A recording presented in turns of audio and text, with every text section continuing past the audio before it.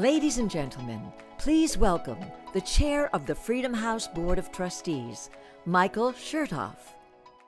Good evening, and welcome to what we hope is our first and only virtual awards gala. On behalf of the Freedom House Board and our annual awards co-chairs, Kitty and Ira Carnahan and Susan and Tom Stout, I want to thank you for being here and for your support for the vital work of Freedom House. Tonight's program will be a powerful reminder of the fact that there is no greater cause than the cause of freedom. Thank you for sharing this universal human cause with Freedom House. You're in good company. Over the last 80 years, this organization has worked with and recognized so many champions of freedom. The groups and individuals we will honor tonight will humble and inspire you. They have been on the front lines, and those of us who have always lived in democracies truly cannot imagine what that is like. But I believe everyone who contributes to the cause of freedom is worth celebrating. There are several champions of freedom who are supporting tonight's event in particular that I would like to thank before we begin. Our freedom supporters, Norm and Karen Wilcox, and TransUnion, and our freedom advocates, Kitty and Ira Carnahan, noting Andy Prozis and Transamerica. And finally, I'd like to recognize and introduce the deeply dedicated president of Freedom House, Michael Abramowitz. Good evening, everyone, and welcome to the annual awards event for Freedom House. What is lost in not being physically together tonight will be more than made up by the incredible stories that you will be hearing. 2019 was a tremendous year for nonviolent resistance to dictatorships all over the world. And 2020 is turning out to be an important year for protests as well. We are honoring some very special people tonight. For our most important Freedom Award, Hong Kong's pro democracy movement, the Sudanese Professional Association, and the Organization of the December Revolution Martyrs' Families. And for our Raising Awareness Award, actor and activist Nazanin Boniadi. All of our honorees showcase both the power of protest and the innate desire for freedom in the human heart. Our honorees' stories also remind us of the unique role that Freedom House plays in the ongoing quest for liberty, justice, and democracy. The tools that Freedom House is able to supply, thanks to you, are so important. Our research is used by activists to make their own unique case for freedom to their own governments. We support defenders in documenting human rights abuses. We help activists find a lawyer if they are arrested and provide security systems for their computers. When necessary, we get the families out of harm's way. We provide medical assistance if they become sick or injured. Wherever they are, the voices of the people who fight for freedom are amplified by our work. Through us, they are connected to the most powerful people in the world and the most important media outlets on the face of this earth. In short, Freedom House helps make it possible for the people leading protests and movements to do their work. We don't tell people what to do or provide a single ideology, but we do provide a comprehensive toolkit for freedom. And we offer our solidarity to those on the front lines of the struggle. Tonight, we celebrate the accomplishments of the people of Sudan who overthrew a dictator. And we rededicate ourselves to helping the people of Hong Kong and Iran win their liberty. Sanctions and saber rattling by the Chinese government, including efforts to intimidate me personally, will not stop us. The protesters and freedom fighters of Hong Kong and Sudan have been part of the Freedom House family for decades, as have the people who seek liberty and democracy in Belarus. Tonight, we hold in our hearts the freedom fighters and protesters of Belarus and remember that their need for our support is critical. The people in Belarus have been peacefully demanding their right to choose their leaders since the sham presidential election of August 9th. These have been among the largest peaceful pro democracy protests in the history of contemporary Europe. And at the heart of this effort is the undeniable courage of three women in particular Svetlana Tsikhanouskaya, Maria Kalesnikava, and Veronika Tsepkalo, who are inspiring millions of people to stand up to a tyrant. Freedom House is proud to support these leaders and protesters. When the crackdown started, we immediately mobilized emergency support for those being persecuted by the authorities. We also connected decision makers in Europe and the United States with Belarusian civic leaders. We helped drum up support and solidarity for the protesters. As we think of all these courageous individuals around the world tonight, including those protesting racial inequality and injustice here in the United States, I offer you this. My friends, democracy is not dying. It is being revitalized now in our country and beyond. Protest is powerful and freedom is powerful. I want to tell you how one of my colleagues at Freedom House defines freedom. Kaskandi Abdul Shafi grew up in Darfur in Sudan. During his childhood and young adulthood, Kaskandi and his family endured systematic violence at the hands of the Sudanese government. He witnessed unthinkable atrocities. Kaskandi knew from a very young age that his own government was against him because of who he was, because of his ethnicity, and because of where he lived. Today, I'm proud to say, he works as my colleague at Freedom House, helping the activists of Sudan and other countries achieve something like the freedom that he now enjoys. Kaskandi describes freedom as the ability to answer in the way that he uniquely wants to, a never ending stream of questions and choices that add up to making a person who they are. Think about it. Freedom is, at its very heart, the ability to be me. I think it's as good a definition as I've ever heard. Kaskandi is joined by countless others at Freedom House and around the world who have committed themselves to the cause of freedom. Tonight, I pose a question to you. Will you join us? Freedom fighters can take many shapes, as you'll see from our speakers tonight. Some are on the front lines, and others provide the critical funds so that organizations like Freedom House can support those on the front lines. During our program, you will see the number 1 833 923 1130 at the bottom of your screen. Please text the word donate to that number to make your donation. Or you can donate at our website, freedomhouse.org slash gala. Finally, you can also use the QR code that you see at the bottom of your screen. I ask that you give generously. It is only through your support that Freedom House and our honorees this evening are able to make the world more free. Please join us. Thank you for your support and for being part of this greatest cause in human history, the cause of freedom. Our next speaker, like everyone here tonight, is passionate about this cause. I'm so grateful that she has made time tonight to address us.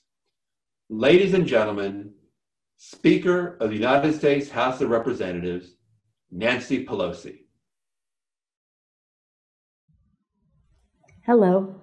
As Speaker of the House, and proudly a 2017 Freedom House Leadership Award recipient, it is my honor to send warm greetings to the tireless leaders and advocates of the 2020 Awards Gala. Thank you, President Michael Abramowitz and Secretary Michael Chertoff, for, year, for your years of committed leadership to advance the cause of peace and security around the world. Nearly 80 years ago, thanks in part to the visionary leadership of Eleanor Roosevelt, Freedom House was founded to promote international cooperation and oppose the forces of division. Today, Freedom House remains a clear and consistent voice for protecting freedom and democracy and a vital catalyst for progress at home and abroad. Tonight, we come together to celebrate the power of protest, a pillar of freedom that has been central to building a more just and equal world for countless people in every corner of the globe. Congratulations to tonight's Raising Awareness Award recipient, Nazanin Boniadi, whose fearless determination has advanced the rights of women and refugees in Iran and across the globe. And thank you, Kristen Clarke, President and Executive Director of Lawyers Committee for Civil Rights Under Law, for your special reflections later this evening on social justice protest happening here in the U.S. We're also inspired by tonight's Freedom Award honorees, brave individuals who have risked all to secure the blessings of liberty that are the right of all people. From the brave men and women of the Sudanese Professionals Association and the organization of the December Revolution Martyrs Families, whose activism in the face of tyranny and oppression helped secure a democratic future for the people of Sudan to the inspiring young protesters of the Hong Kong pro democracy movement who have shown the world that the dreams of freedom, justice, and democracy can never be extinguished by injustice and intimidation. The Hong Kong protesters' extraordinary outpouring of courage stands in stark contrast to the cowardly government that refuses to respect the rule of law or the one country, two systems framework guaranteed more than two decades ago. This ongoing struggle is a challenge to the conscience of the world, demanding our unwavering commitment to hold Beijing accountable. If America does not speak out for human rights in China because of commercial interest, we lose all moral authority to speak out elsewhere. On behalf of the United States Congress and all peaceful, loving people, thank you to all of tonight's honorees for harnessing your power to advance the promise of freedom and the hope of democracy for yourselves for your children, and for generations to come. Congratulations again on your well deserved recognitions. In recognition of their leadership in the transition to democracy in Sudan, Freedom House is honoring the Sudanese Professional Association and the organization of the December Revolution martyrs' families with a 2020 Freedom Award.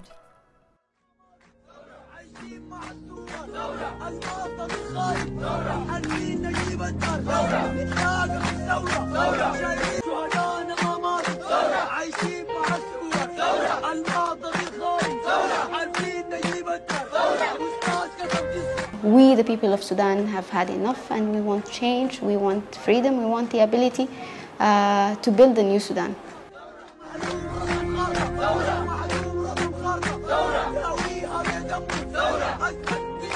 Uh, when SPA started uh, in 2010, it was a group of different professionals trying to network.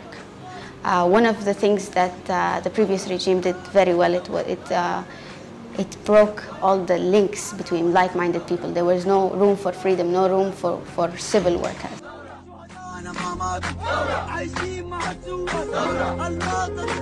The SPA worked with uh, the different peaceful tactics like uh, strikes, uh, civil disobedience, and uh, the Great Sit-In. All these were, were, were, peaceful tactics that, that were used to protest and to show that uh, we, the people of Sudan, have had enough and we want change, we want freedom, we want the ability to build a new Sudan.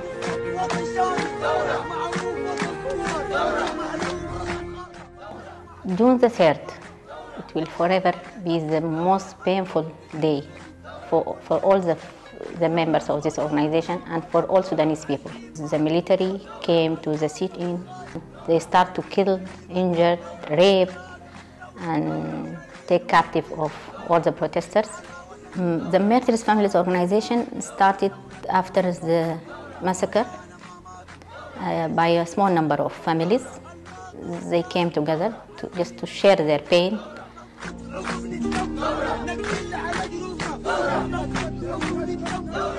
You know, after the massacres, uh, all the family members and his friends started to change their uh, profiles to the shade of blue that he loved. As it's come some, some, some sort of support for the family as for his soul. And started blue for Matar, then it spread all over the world, blue for Sudan, and he became an icon and the blue started to be the symbol of Sudanese revolution. So all the, his friends outside Sudan, they raised the voice of Sudan and they let people to know what's going on in Sudan by changing their profiles to blue. So this blue became the revolution color now. The world has to move towards, uh, uh, towards democracies. Uh, dictatorships are supposed to be of history. It does not make sense that we are in the 21st century and uh, we're still dealing with, with uh, basics like freedom. Our hope is to have a democratic Sudan, like what the Matrice call for. Peace, free, freedom, peace and justice. So this will lead to democracy and what we are hope, this is our hope for Sudan the next years. We should, we should move forward towards development, we should move forward. Uh, I think enough is enough. The world has to move to another zone, to another place.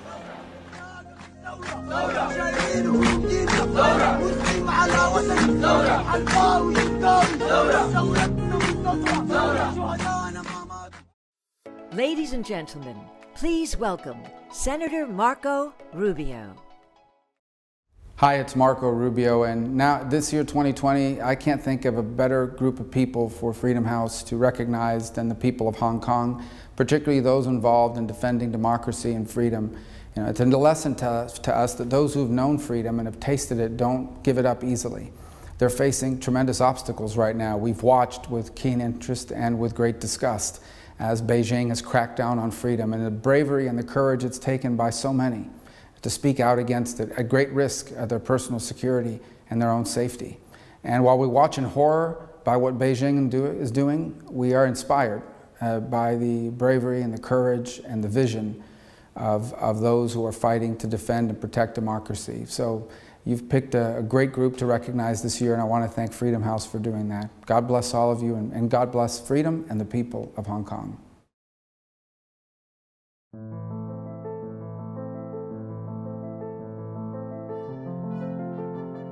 In 1997, a promise was made to the people of Hong Kong. One country, two systems, autonomy, freedom for 50 years. But we didn't get 50 years. Our freedom, after steadily declining since 1997, ended this year. You our friends at Freedom House know our story. You began tracking how our rights have been slowly eroded by mainland China year after year after year. During these years, the freedom loving people of Hong Kong have used peaceful protest to stand up against the theft of our rights. Through protest, we sent a message to mainland China and to the world. You have followed our protests. You remember when we started carrying umbrellas in 2014 to protect our identities and our bodies. The protests of 2019 were different. One third of Hong Kong's population was inspired to actively participate by New Year's. All generations all socioeconomic groups. We were united, and we knew we had nothing else to lose. As our protests grew stronger and larger, the police response grew violent. Activists were charged with rioting. Organizers were arrested. A police officer shot an 18 year old demonstrator, then a 14 year old masks were banned. Protests escalated. The free world was watching. Then came the crackdown to crush Hong Kong liberties once and for all, so innocently called the National Security Law. Since the National Security Law went into effect in June, students have been detained, protest leaders arrested, activists disappeared, professors fired, pro democracy candidates banned from participating in legislative council elections, elections delayed indefinitely. Free speech in Hong Kong is gone. Hong Kong's freedoms gone. Tonight, Freedom House honors the protesters of Hong Kong, but you must do so without naming or identifying any of them. To identify and honor these leaders publicly would put their lives at risk. Hong Kongers have now joined other groups mortally oppressed by China Uyghurs, Tibetans. Our shared goal must be a day when the protesters of Hong Kong can be named because they are once again free. We will say their names next to Uyghur and Tibetan names, next to Sudanese and Iranian names, because freedom will prevail. The human spirit cannot be controlled. The communist government of China won't stop. And we, the people who know that to be free is to live, we won't stop either. The protesters of Hong Kong are this year's Freedom House Freedom Award winners. We all look forward to the day when we can say their names.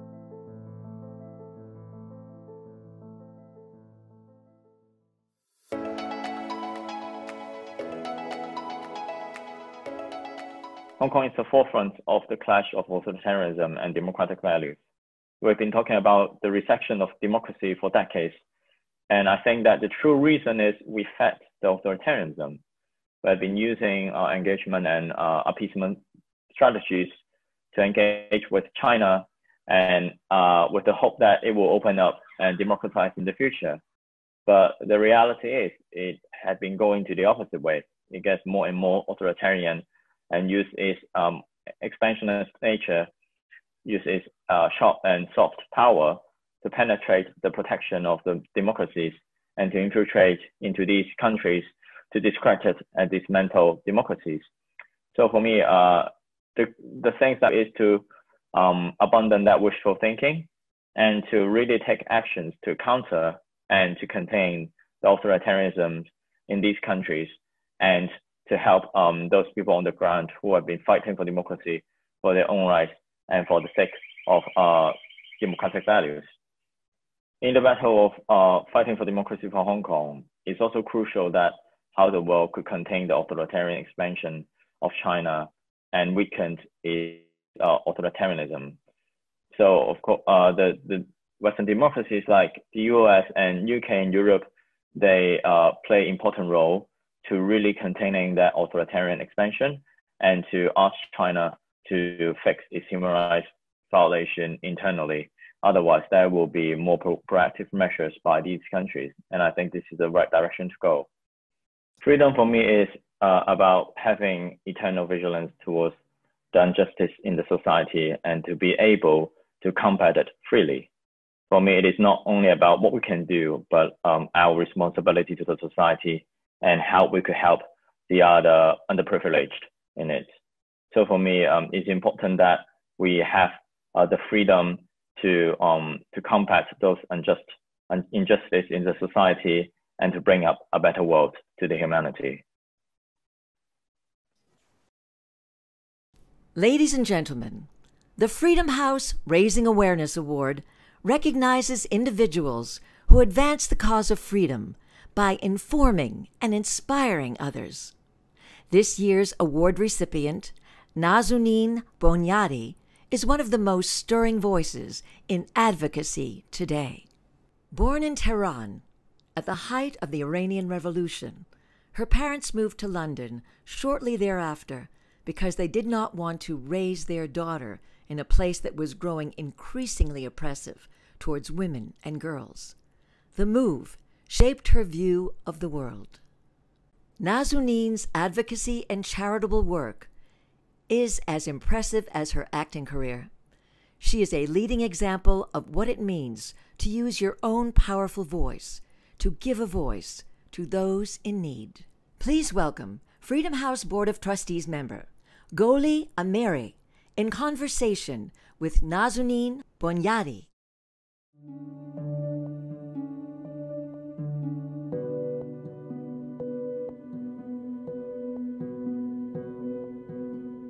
If I've done anything to make you think I feel that way about you, I apologize. This might be a little forward, but do you have a bomb strapped to your chest?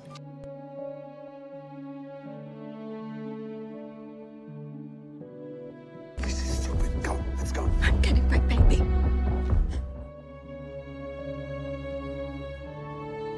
Human rights advocates continue to work hard to end the abuses and conflicts at the root of the global refugee crisis. Doktor, shut up.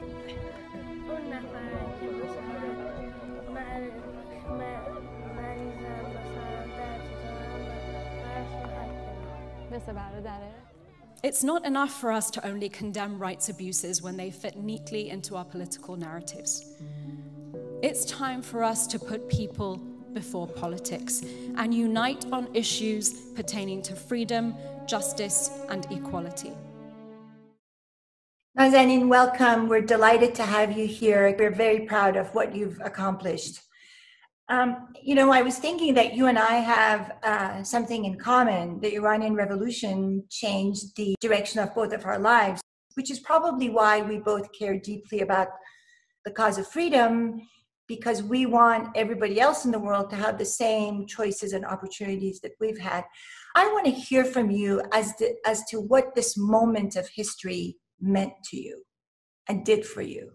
Well, thank you, Goli, uh, and thank you to Freedom House. This is a real, real pri- privilege for me. I was born in the aftermath of the Iranian Revolution in 1979, and it was a time when the rights, uh, people's rights, uh, political rights, social and legal rights were quickly diminishing.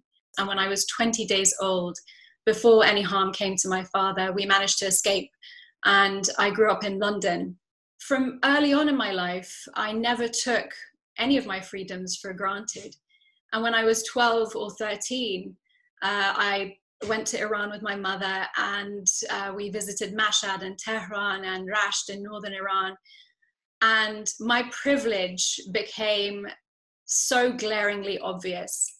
I was raised in a country where freedom of speech existed, freedom of assembly, women were, were equal to men before the law.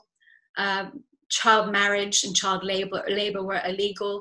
I got to choose if I wanted to wear the hijab or not. And that wasn't the case in Iran. When I, what I saw was uh, people who wanted freedom and really worked hard every day to gain those freedoms. And when I went back to London, I wanted to lend my voice in any way I could to to amplify theirs, and and it really just became a, a, a huge uh, goal in my life to to see that freedom prevail. Nazanin, Freedom House called 2019 the year of protest, and we are certainly seeing the sentiment continue in 2020 with the civil rights protests in the United States, in Hong Kong, and in Iran. Do you think these protests are going to have a lasting effect? I hope so. You know, I, I recently saw a video of a man in Idlib, an artist in Idlib, Syria, who was standing am, amid the ruins, uh, amidst the ruins of, of Idlib. And there was a, a lone wall crumbled wall standing on which he drew, uh, painted a mural of George Floyd. And it was so inspiring to me that this man who was standing in these ruins and had suffered, he and his people had suffered such grave injustices and suffered so much while the world frankly turned away from their suffering, had the empathy in his heart that extended beyond his borders. His empathy was limitless. It wasn't confined by his borders or just for his people. He wasn't saying, yes, but what about us? He was saying, we share your suffering because essentially an injustice anywhere is a threat to justice everywhere. And my goodness, I walked away from that thinking, we all want to say, yes, but what about us? Whereas what we should be saying is, we are all in this together. And excuse me if I get emotional, but that is, in essence, what advocacy is about. Is if we stand for George Floyd, which we must, we stand for the rights of George Floyd and every person who suffers police brutality in the United States. We cannot ignore Puya Bakhtiari, who, who was shot to death in the protests in Iran in November 2019, or the people suffering in Syria or Yemen, um, or the injustices in Hong Kong, um, Lebanon, and beyond. And when you call yourself a human rights advocate, it's all inclusive. You know, Nazanin, watching you um, talk um, sort of reminds me of the special relationship that artists have with freedom of expression. What, what are your thoughts on that? How do you feel about that? Since time immemorial, there, there's been a, um, a sort of a synergy between arts and, and advocacy. Uh, and I hope they continue. I think it's very important that we we keep raising our voices um, and that we're not cowered into silence. But there's inherent risk to advocacy that we have to take on because there are people in this world who want to hold on to the status quo of um, silencing people and and taking away people's freedoms and rights um, and oppressing society. And I think with that comes a huge responsibility for those of us who have a microphone in our hands to, uh, to, to speak truth to power.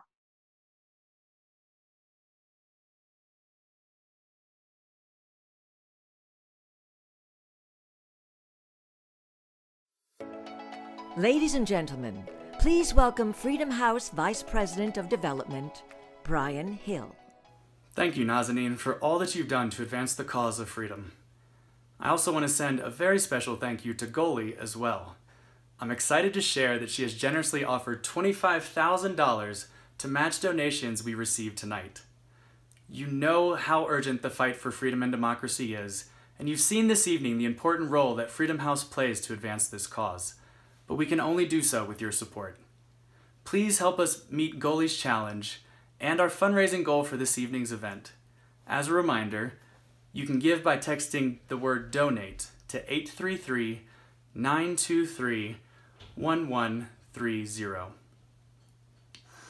It's such an honor for me to introduce our next speaker. Just three months ago, Svetlana Tsikhanouskaya became an unexpected symbol of freedom and an inspiration for millions of Belarusian people. After her husband and presidential hopeful Siarhei was arrested, Svetlana started collecting signatures to be a stand-in candidate in the upcoming election. She did it on a whim, but was surprisingly allowed to register as a presidential candidate. She was an unknown name, a woman, a schoolteacher, and very suddenly, a powerful voice for freedom.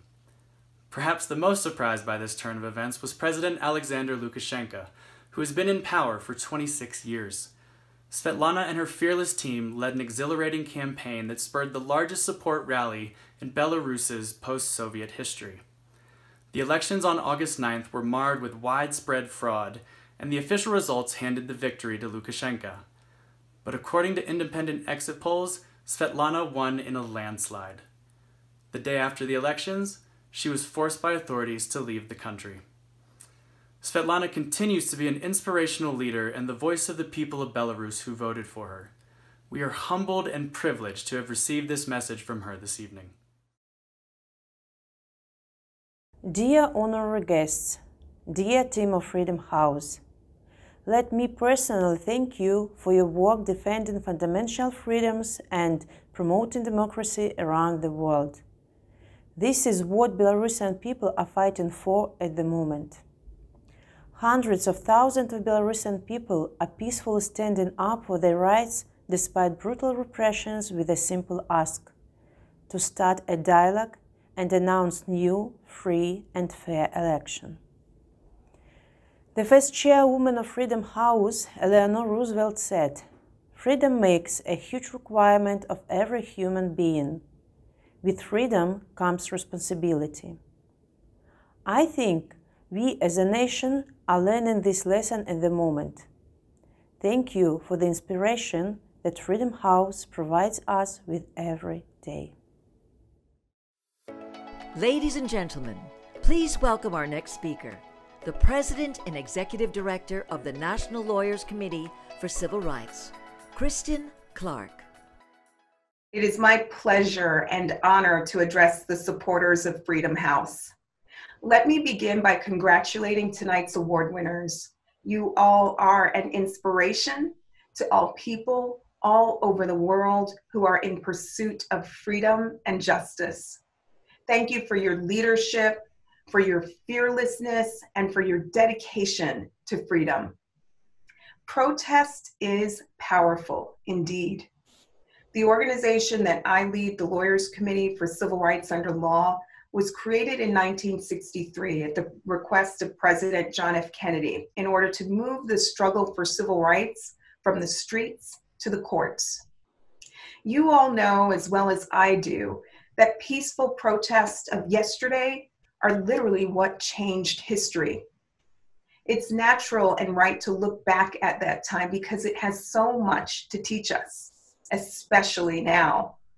This year, protests in America are once again changing the arc of history. In the protests of 2020, I see the legacy of those who came before us, and I see the leadership of young people right now who are moving our nation forward. This is a movement, not a moment. The 2020 protests have also been an expression of pain and frustration, yes, but just like the protests of the civil rights movement of yesterday, they're also a powerful expression of patriotism today. They're serving a vital purpose in advancing our nation's ongoing pursuit for equality and justice. In the United States, we protest because we want our country to live up to its full potential. What could be more patriotic than that? The emotion that is too often missed when talking about protest, however, is optimism.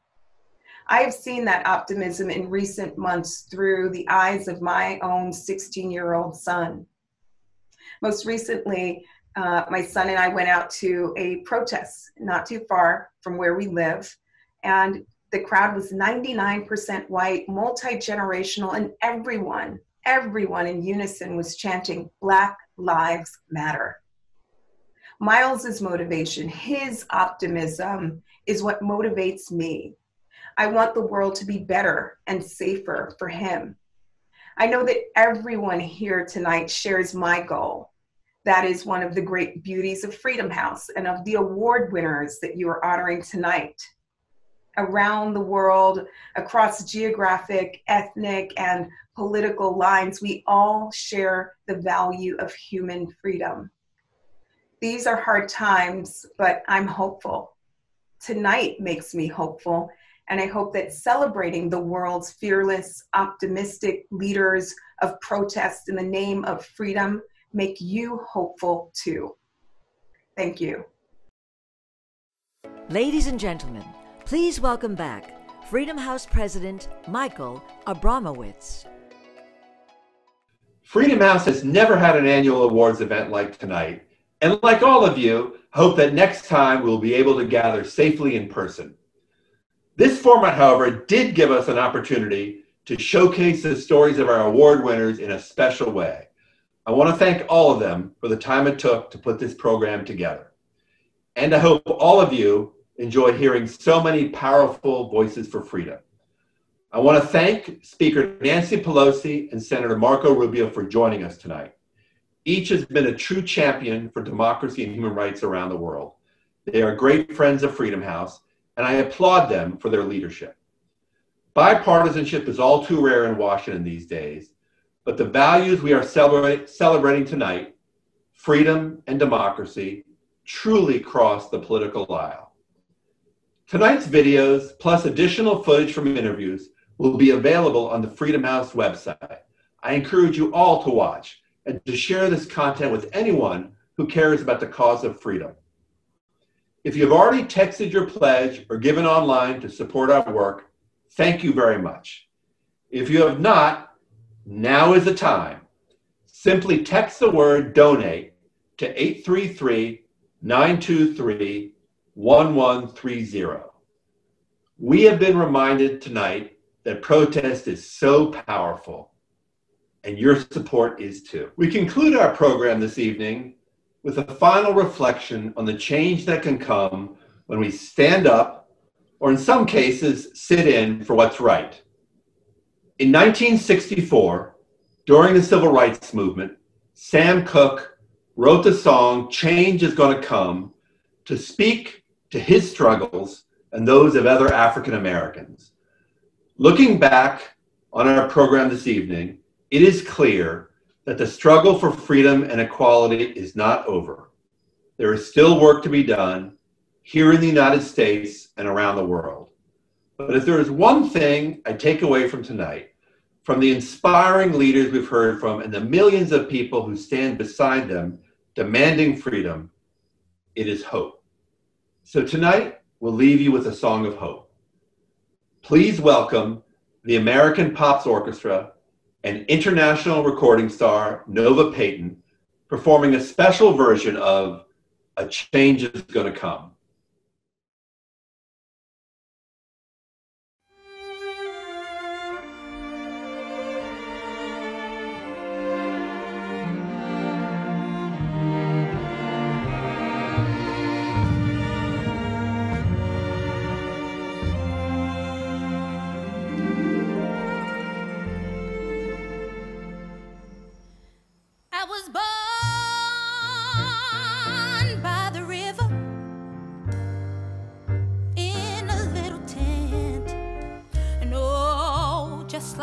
River, I've been running ever since.